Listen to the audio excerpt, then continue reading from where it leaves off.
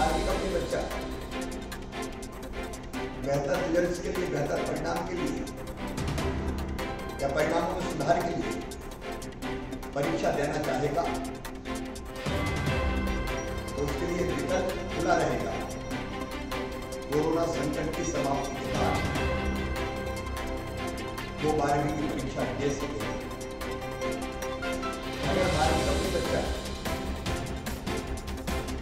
बेहतर के लिए बेहतर परिणाम के लिए, या परिणामों में सुधार के लिए परीक्षा देना चाहेगा